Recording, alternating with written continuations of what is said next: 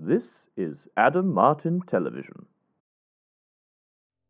Hello there, everyone, and welcome to part 4 of this series looking at the history and impact of Doctor Who ratings.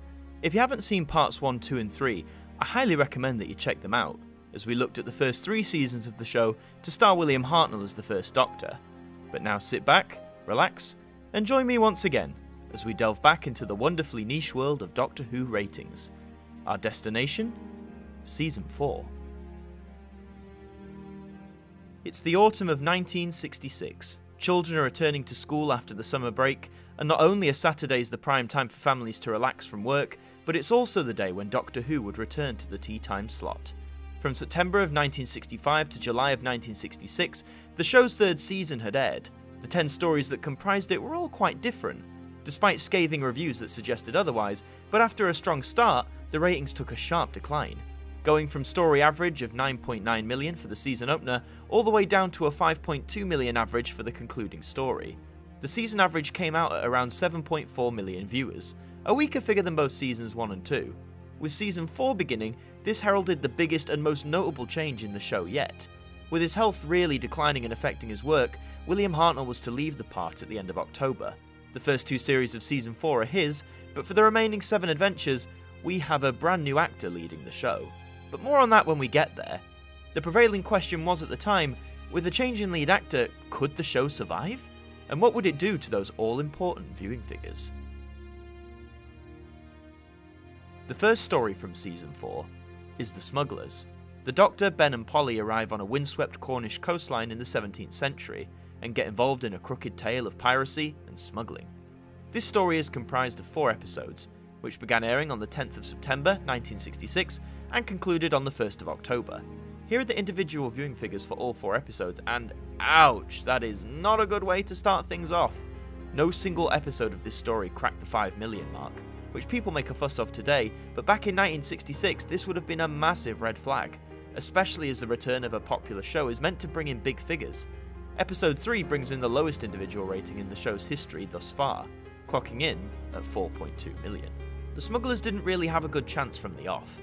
Competition on the other side at ITV included popular veterinary soap Weaver's Green, and in many other regions, talent show Opportunity Knocks. So, despite airing in the 5:50pm slot, a time which before had proved a successful point in the day for Doctor Who, not even that could save it from low viewing figures. The Smugglers is also a historical story, which at this point were really falling out of favour with areas of the public, with some children describing, on an edition of Junior Points of View, that they were bored with the series. I would say give this story another chance with a rewatch, but unfortunately we can't. You guessed it, just like a lot of the previous season, all four episodes of The Smugglers are currently missing from the BBC archives, some censor clips, moments cut in overseas prints, do survive, but aside from that, the best way to relive this dive into smuggling for the TARDIS team is either via the Target novelisation or as an audio drama. Overall, this story attracted an average of 4.5 million viewers, a terrible new low for the series. This was the first time Doctor Who would average a figure lower than 5 million, and considering this was the penultimate tale to feature William Hartnell, I'm sure some folks at the BBC may have considered it best cancelling the show after he left in the next adventure. Thankfully, that did not happen, and that very last story for Hartnell would prove to be one of the most momentous in the show's long history. Fare ye well. Jamaica.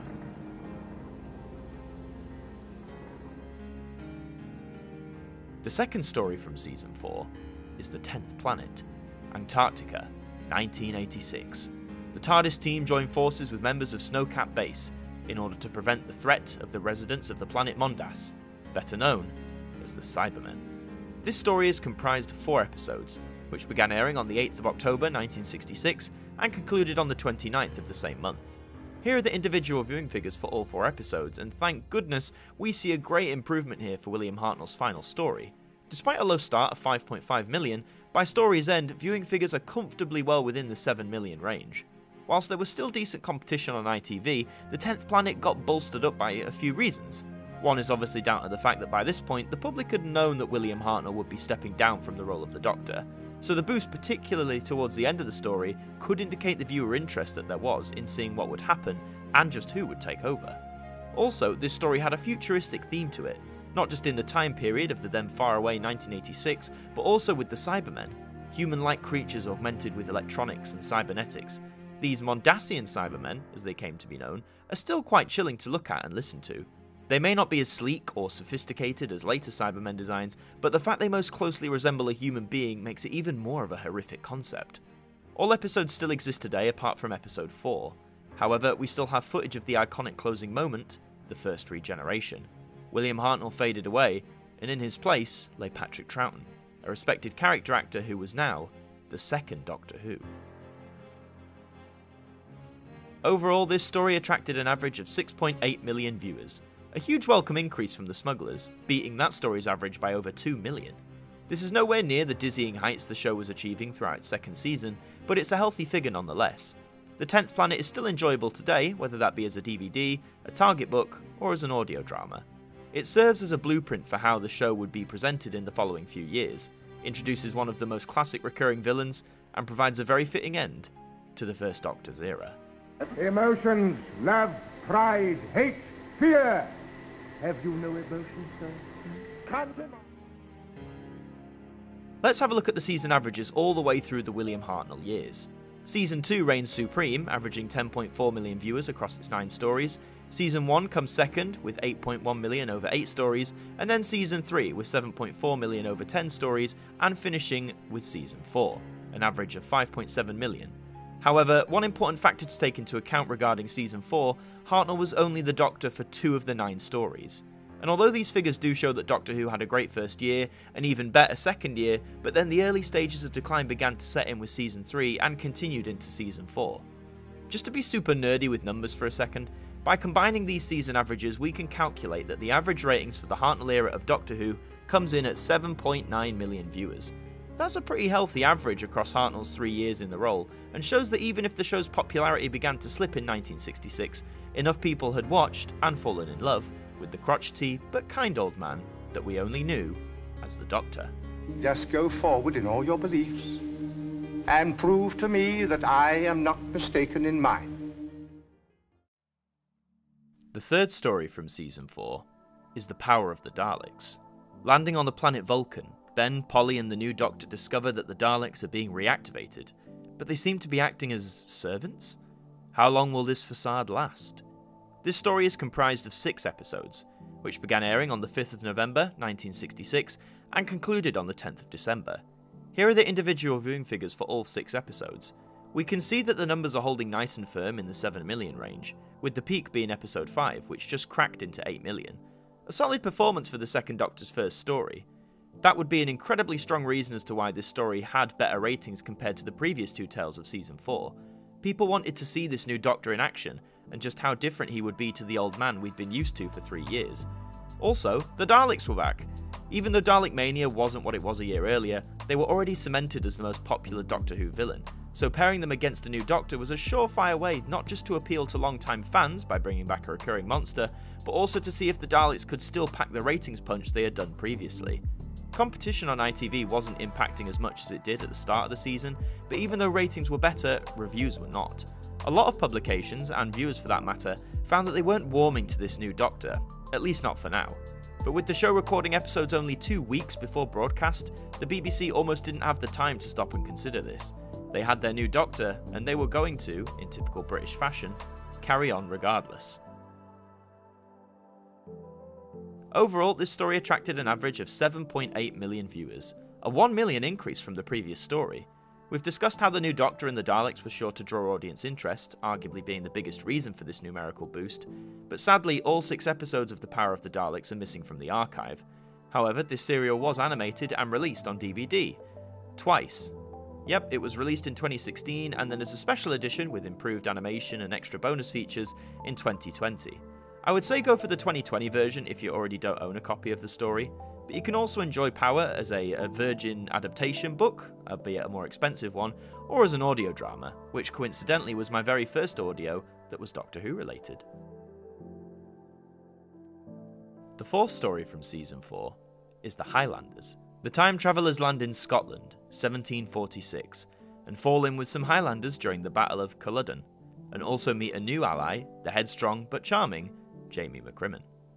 This story is comprised of four episodes, which began airing on the 17th of December 1966 and concluded on the 7th of January 1967. Here are the individual viewing figures for all four episodes, and we can see things have dipped slightly. The peak of the story comes with episode 3, which sits at 7.4 million viewers, and the lowest being episode 1, which gained an audience of 6.7 million. These are still decent figures for a show in 1967, and there are several potential reasons for the drop in the previous story. One being that The Highlanders is a historical, and by this point these kinds of stories weren't enjoyed by many viewers of the audience, and the reaction to this story in fact prompted those who ran the show at the time to abandon purely historical affairs for more futuristic, monster based stories. Also, some ITV regions were showing Batman. Yes, that Batman. The Highlanders is most remembered nowadays for being the introduction of Fraser Hines as Jamie McCrimmon, and the Scottish character would end up being aboard the TARDIS crew for the rest of the Second Doctor's era, becoming one of the longest serving companions ever. Unfortunately, like Power of the Daleks before it, no episode of The Highlanders still exists in the BBC archives. It's the usual methods if you want to enjoy this story today, so either a target novelisation or an audio drama. Overall, this story attracted an average of 7.1 million viewers, a steady drop from the previous story, but still a decent average in retrospect. As 1967 rolled in with the conclusion of this story, it was also meaning the end of the purely historical stories for a very, very long time.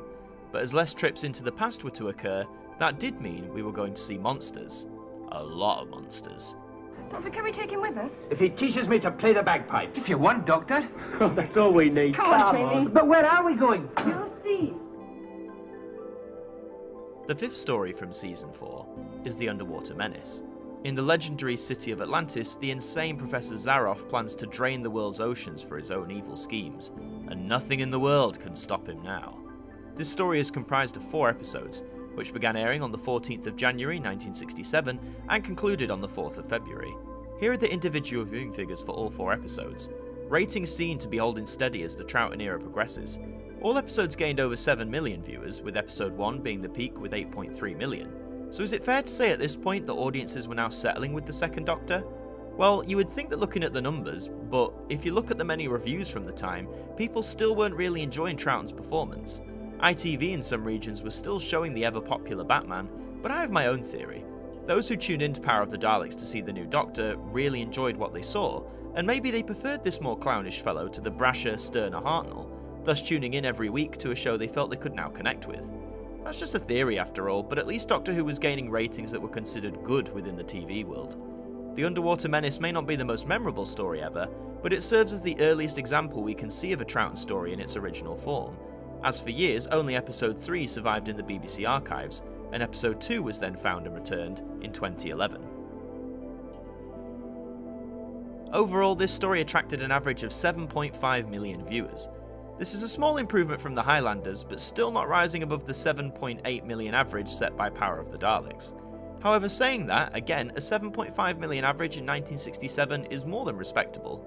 To enjoy The Underwater Menace today, there's the Target book, the audio release, and a DVD release. Although keep in mind, this only contains episodes 2 and 3 as they were filmed with episodes 1 and 4 being reconstructed via telesnaps. There's always rumours that another DVD release will come with the missing episodes being animated, and it may well happen, but time will tell. Always does. Nothing in the world can stop me now! The sixth story from Season 4 is the Moon Base. The year is 2070, and Earth's weather is controlled by a station on the Moon. The Doctor and his friends arrive initially under suspicion from the crew, but once the Cybermen arrive, they must work together to save the Earth and to survive.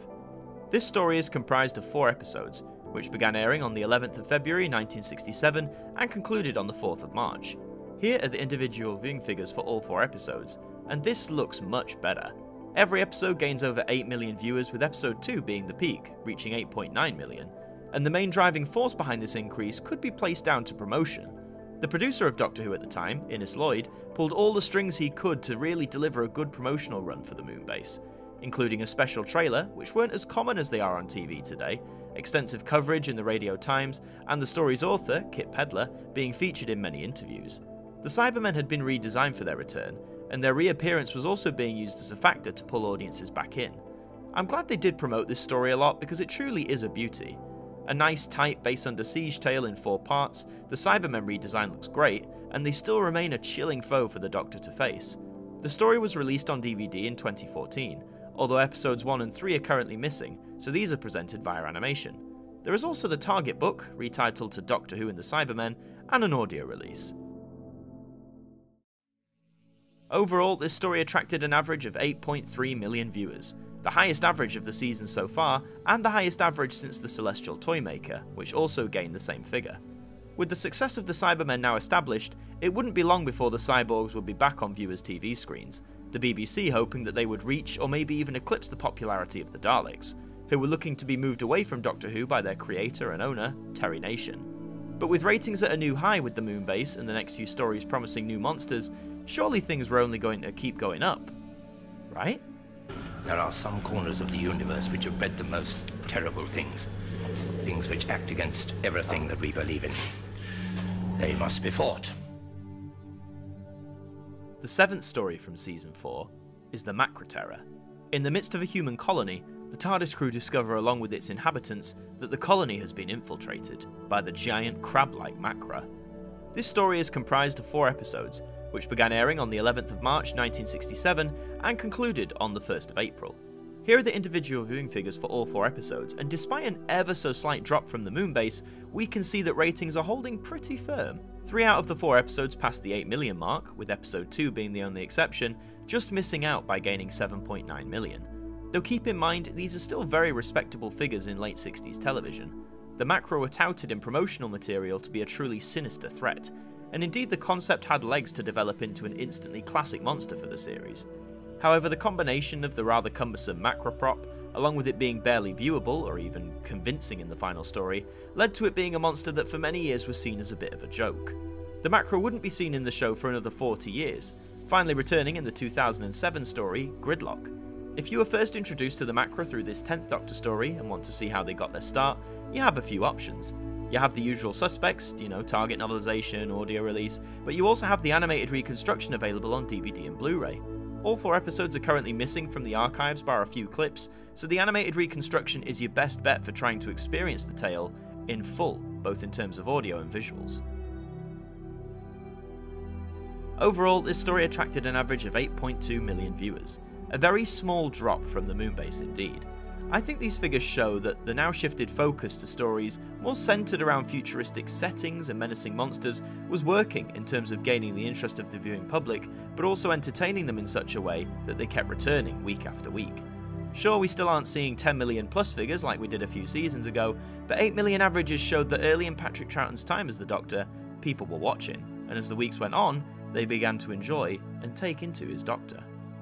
There's another one!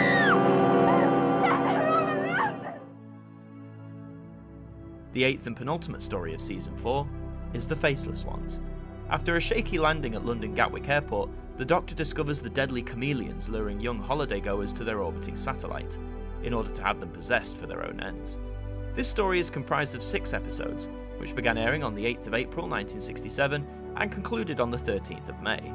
Here are the individual viewing figures for all six episodes, and we seem to be a bit all over the place here. The story's opening and closing episode both attain the peak viewership, with 8 million viewers. Episode 2 has the lowest ratings at 6.4 million, and the remaining episodes all hover just under or over the 7 million mark, and episode 3 almost claws at 8 million, but falling just short and finishing with 7.9 million. The big dips in this story ratings wise is an oddity really. All six episodes went out at the normal 5.50pm time slot, and competition on ITV was also consistent, Maybe the additions of their programs, such as Doddy's Magic Box, Batman, and Just Jimmy, were just really good installments partway across the six weeks that The Faceless Ones was broadcasted.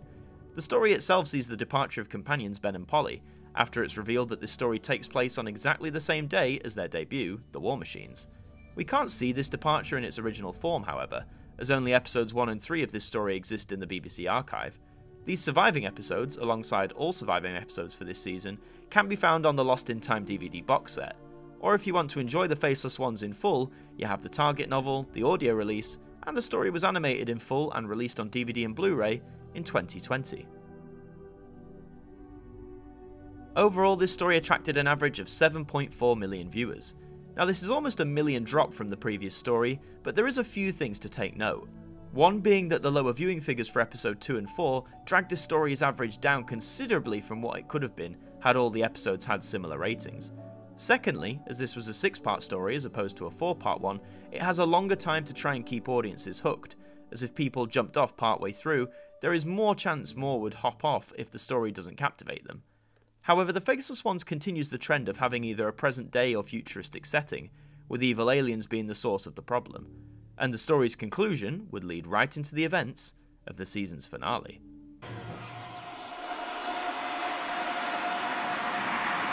A flying beastie! The ninth and final story from season 4 is The Evil of the Daleks. The TARDIS has gone missing, and the Doctor and Jamie discover that the Daleks are behind it. With new companion Victoria, can they defeat the Daleks, prevent them from using the human factor to turn them into unstoppable creatures, and escape the wrath of a full blown civil war? This story is comprised of seven episodes, which began airing on the 20th of May 1967 and concluded on the 1st of July. Here are the individual viewing figures for all seven episodes, and oh, for a Dalek story, these figures are far from the best. Episode 1 kicks things off strongly with 8.1 million viewers tuning in, but from there everything drops. The lowest point being episode 5 with only 5.1 million viewers, a 3 million drop from the opener. So for a season finale and a Dalek story at that, what on earth happened? Well, the time slots across the 7 episodes are a bit all over too. Episode 1 aired at 6pm due to FA Cup coverage, Episode 7 went out at 6.25 due to Wimbledon coverage, and all the remaining episodes going out at the usual 5.50pm slot. In the past, time slot shifts have affected Doctor Who's ratings, but the 6pm showing of episode 1 gained the highest figures for the story, so that point is arguably moot. In terms of competition, depending on what region you lived in, you had the option of either ITV's selection of talent shows, comedies, or American imports. Also, Evil of the Daleks broadcast into the summer months, a typical time for audience figures to drop across all television. Finally, despite the extensive promotion for this story, due to the Daleks appearing once again, I think by this point, summer of 1967, Dalek Mania had well and truly ended. The Pepper Pots were still popular, but they no longer commanded the pull they once had only a few years prior. Audiences could have easily been tired of seeing the Daleks yet again in just under six months from their last appearance. But in any case, season 4 of Doctor Who ended with a new companion, Deborah Watling's Victoria, aboard the TARDIS, and the Daleks facing their final end. Overall, this story attracted an average of 6.4 million viewers, a million drop from the previous story and the lowest average rating for a Dalek story thus far. It is a real shame that what could have well been the last Dalek story at that time had the lowest viewership of any of their appearances. But for what it's worth, Evil of the Daleks is a contender for not just one of the best Dalek stories of the 60s, but one of the best Dalek stories in all of Classic Who. Episode 2 is the only surviving episode in the archives, and you can see that on the Lost in Time box set. There is an expensive novelisation of this story available, and also an audio release. An animated reconstruction is heavily rumoured to be released sometime in 2021.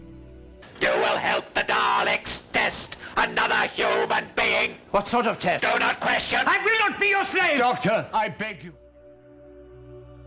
Now, before we round things off for this season, we actually have some repeat viewing figures for you. The Evil of the Daleks has the rare distinction of being one of the few stories from the 60s era of Doctor Who to get a repeat during the 60s itself. At the end of season 5's finale, The Wheel in Space, the Doctor is preparing to tell new companion Zoe a tale involving the dreaded Daleks, just so she knows what she's in for when they go aboard the TARDIS. This then led into a full repeat of Evil over the next seven Saturdays, perfectly filling the seven week gap between the end of season 5 and the start of season 6. Here is the individual viewing figures and the average ratings for the repeat, that began airing on the 8th of June and concluded on the 3rd of August of 1968. We see the repeat figures are fairly stable, despite a drop to 4.2 million with episode 6, and an average of 5.3 million, over a million drop from its original broadcast run. Have you ever heard of the Daleks? No. Then watch. So that's season 4, the nine stories that comprise it, and the ratings that they garnered. With the transmission of episode 7 of The Evil of the Daleks on the 1st of July 1967, season 4 of Doctor Who was brought to an end. The season ran for just under 10 months and was made up of 43 episodes across 9 stories. The fact that they recorded most of this season's episode either only a week or two weeks before their transmission and still delivered some cracking stories to us is honestly quite remarkable. Let's have a look at the story averages for this season, from the point where Patrick Troughton took over. We can see that the highest story average was with the Moonbase, standing at 8.3 million. The lowest point came with the finale, The Evil of the Daleks, which came in at 6.4 million viewers who tuned in to see the Doctor's supposed final battle with the sinister Pepperpots. Looking at the numbers across the second Doctor's first set of stories, it's positive to see that for the most part everything looks moderately healthy. I'm sure the BBC hoped and wanted the show to once again reach the 10 million plus viewers with all the shake ups and changes the show was having, but sadly, those heights would have to wait until later down the line. But one thing was for certain the new Doctor was here to stay, and the TARDIS team were going to face more monsters, many, many more monsters in the next few seasons to come. If we work out the average amount of viewers across the entire season, we can calculate that the average for season 4 of Doctor Who is around roughly 7.5 million viewers, which is a very slight increase from the average of the previous season. Now, this figure only takes into account the stories featuring Patrick Troughton as the Doctor. If we include the two Hartnell tales for a moment, the average decreases to 7.1 million viewers, a lower figure than season 3. And this is undoubtedly due to the low ratings of the smugglers. But for Patrick Troughton's first run of stories to technically be slightly more successful audience wise than Hartnell's final full season, if anything, it showed that the changes in the show's direction to less historical and more science fantasy based adventures was working. And this is the motif the production team would continue with for the rest of the 1960s. So, those are the ratings details for Season 4. I hope you enjoyed this numerical look back at the year of change, as it were, a brand new Doctor could have easily spelled disaster for the show, but as we know, thankfully, that never came to pass. If you want to learn more information about what the Daleks were up to throughout the 1960s, I highly recommend you check out Dalek 6388 here on YouTube, as they make excellent in depth documentaries regarding the original Dalek props. If you want to read more about Doctor Who and the making of it, I highly recommend the Complete History series of books, which I used as reference for this video. Please consider leaving a like, subscribing to the channel, and leaving your thoughts on Season 4 in the comments section below. I've been Adam Martyn from AMTV, and we will see you next time for Season 5. A massive thank you to our producer and director patrons for your support towards us here at AMTV. You just help keep us going, and that's massively appreciated. And that does bring us to the end of another evening here on AMTV. We hope you enjoyed the programme, and we hope to see you next time. Good night.